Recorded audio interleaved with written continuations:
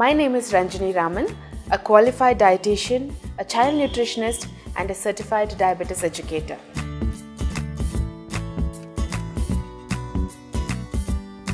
Fruit seeds are rich in vitamins and minerals and hence they are considered healthy. However, they might also contain certain anti-nutritional factors because of which we must take care while we are eating them. For example, fruits like apples, pears, plums are believed to have certain cyanide compounds which may be dangerous for us. So we can take to a certain extent but not in large quantities.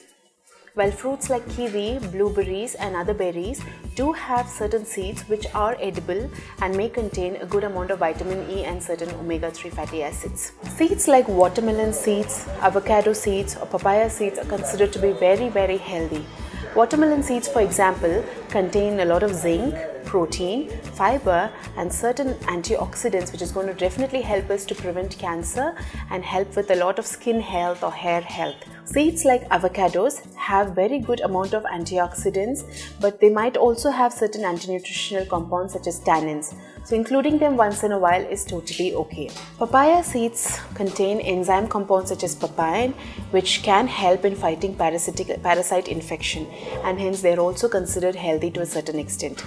However it may be, seeds have to be eaten with caution by not eating too much of it but probably by sprinkling a little bit of it or, or it can be roasted and ground to ensure that it's absorbed better. But it's always good to consult your expert before consuming a lot of these fruit seeds.